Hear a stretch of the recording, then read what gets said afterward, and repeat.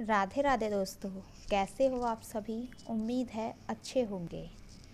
मैं आपकी दोस्त भूमिका लेकर आई हूँ आपके लिए Shrimad Bhagavad Gita series.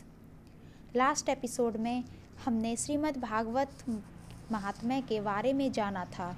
अब हम शुरू करने जा रहे हैं श्रीमद् भागवत महात्म्य का पहला अध्याय।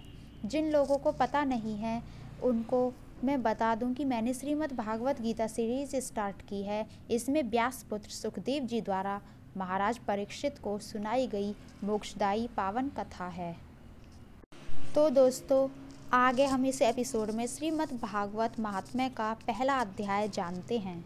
तो दोस्तों, शुरू करते हैं। कृष्णम नारायणम वंदे कृष्णम वंदे व्रजप्रियम कृष्णम द्वैपाण्यम वंदे कृष्णम वंदे प्रथासुतम।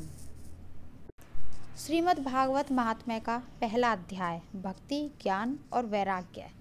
सच्चिदानंद रूप भगवान श्री कृष्ण को हम नमस्कार करते हैं, जो संपूर्ण विश्व की उत्पत्ति, स्थिति और विनाश करने वाले तथा आदि दैविक, आदि भौतिक व आध्यात्मिक ताप का हरण करने वाले हैं। पौराणिक युग में एक बार सोनकादि अट्ठासी हज़ार रिसीवर नैमिषारण्य में एकत्रित हुए। वहाँ श्री वेद व्यास जी के पौराणिक शिष्य सूत जी विराजमान थे। उन ऋषियों ने सूत जी से प्रार्थना की कि वे ऐसी कोई कथा सुनाएँ जिसमें लीला में परमेश्वर की भक्ति, ज्ञान और वैराग्य का समावेश सर्वाधिक हो। इस घोर कलयुग में संसारी व्यक्तियों के लिए ज्ञान उस राक्षस के समान हो गया है जो क्रोध, लोभ, मोह और काम को ही सदैव भड़काता है, जिसकी वजह से मनुष्य हर पल, हर घड़ी दुखी रहता है। हमारी प्रीति श्री हरि चरणों में हो। ऋषियों की बात सुनकर सूत जी बोले, रिसीवर, इस कलयुग में काल रूपी सर्प के चंगुल में फंसे लोगों के उद्धार के लिए आपने जो कथा सुनने की इच्छा प्रकट की है, वह स्तुति योग्य है। मैं आपको वह कथा सुनाता हूँ, जिसे श्री सुखदेव जी ने राजा परीक्षित को सुनाया था। उस कथा का नाम श्रीमद् भागवत कथा है। सूत जी ने कथा का शुभारंभ करते हुए कहा, एक बार भृंगी ऋषि ने राजा परीक्षित को साप दे दिया, तथा कि तेरी मृत्यु आज से सातवें दिन हो जाएगी। राजा परीक्षित मृत्यु के भय से दुखी होकर श्री सुखदेव जी के पास आए। उन दिनों श्री सुखदेव जी गंगा के किनारे ऋषि मुनियों के सामने आध्यात्मिक प्रवचन किया करते थे। राजा की प्रार्थना पर उन्होंने उसका मृत्यु भय दूर करने के लिए यह श्रीमद् भागवत कथा सुनाई थी। जिस समय श्री सुखदेव जी कथा सुनाने के लिए तैयार हुए, उसी समय स्वर्ण के देवगढ़, अमृत कलश लेकर वहाँ उपस्थित हो गई और सुखदेव जी से बोले, ऋषिवर, आप यह अमृत पीकर अमर हो जाएँ और हमें कोई सुंदर कथा सुनाएँ। इस पर श्री सुखदेव जी ने देवताओं से कहा, इस अमृत को पीकर तो लोग देवों की भांति अमर हो जाते हैं। यह अमृत हमारे किसी का काम का नहीं है। स्वर्ग में आयु का कुछ पता नहीं चलता। वहाँ ब्रह्मा के एक दिन में चौदह इंद्र बदल जाते हैं। तुम्हारे इस अमृत से तो वह कथा अमृत के समान है, जिसमें भगवान श्री कृष्ण का चरित्र है और जिसे सुनने के उपरांत मनुष्य जन्म और मृत्यु के आवागमन से मुक्त हो जाता है। महाराज परीक्षित की इस कथा को सुनने के इच्छुक हैं। यह कथा संकादिक ऋषियों ने नारद मुनि को एक सप्ताह के भीतर सुनाने की विधि बताई थी।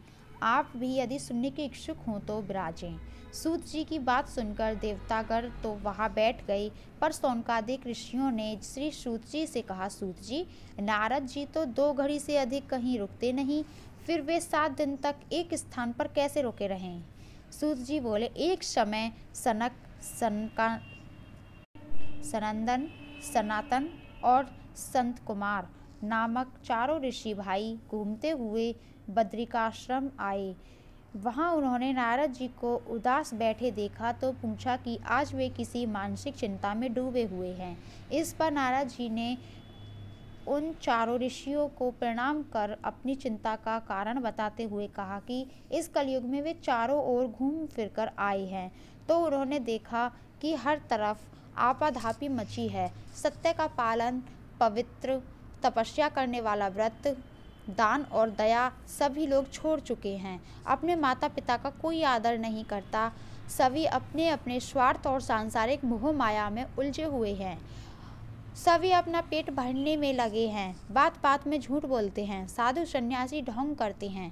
सभी पैसों के लालच में कुछ भी करने पर उतारू हो जाते हैं। सर्वत्र अधर्म और नीच कर्मों का बोलबाला है। यह सब देखते हुए वे जब मथुरा नगरी में यमुना किनारे पहुँचे तो वहाँ एक स्त्री को उन्होंने रोते हुए देखा। उसके पास दो बूढ़े अचेत अवस्था में पड़े थे। कोई भी उस स्त्री की सहायता करने नहीं आ रहा था। उसे देखकर वह स्त्री अपना दुखड़ा सुनाने लगी। वह कह रही थी कि वह भक्ति है। और ये दोनों अचेत पड़े उसके दो बेटे। ज्ञान और वैराग्य हैं। यहाँ आसपास जो तीन स्त्रियाँ बैठी रो रही हैं, ये गंगा, यमुना और सरस्वती नदियाँ हैं, जो मेरी सहायता के लिए यहाँ आई हैं। मैंने द्रविड़ प्रवेश में जन्म लिया था। कर्नाटक में मैं सियानी होकर दक्षिण में रही। वहाँ से चलकर मैं गुजरात पहुँची और वहाँ मैं बूढ़ी हो गई। लेकिन जब मैं, जब से मैं वहाँ वृंदावन में आई हूँ तब से मैं फिर से जवान हो गई हूँ। परंतु मेरे ये दोनों बेटे ज्ञान और वैराग्य कलयुग के पापों की अग्नि में भस्मीभूत होकर अचेत हो गए हैं। इसी से मैं बहुत दुखी हूँ। मेरे पुत्र तो बूढ़े हैं और मैं जवान हूँ। ऐसा देखकर संसारी लोग मेरी हँसी उड़ाते हैं। नारद जी ने उसे समझाया कि कलयुग की वजह से तेरे पुत्रों ने अपनी मर्यादा का त्याग कर दिया है। भाव यही है कि कलयुग में भक्ति के द्वारा ही परमात्मा का सह, साहचर्य संभव है। ज्ञान वैराग्य को कोई नहीं पूछता। राजा परीक्षित ने भी दया करके कलयुग को छोड़ दिया था। इसी का परिणाम उन्हें भुगतना पड़ रहा है।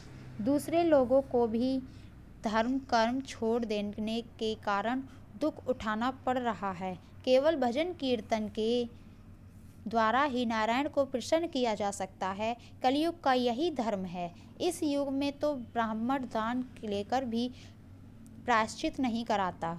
सभी के मन में क्रोध, लोभ, काम और अहंकार भरा रहता है।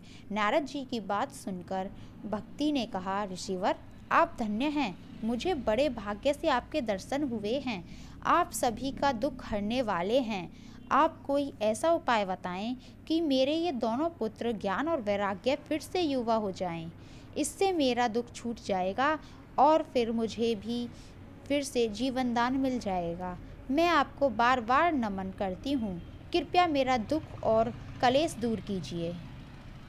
धन्यवाद दोस्तों। आज के लिए इतना ही। मिलते हैं दूसरे अध्याय में। तब तक के लिए जय श्री कृष्णा।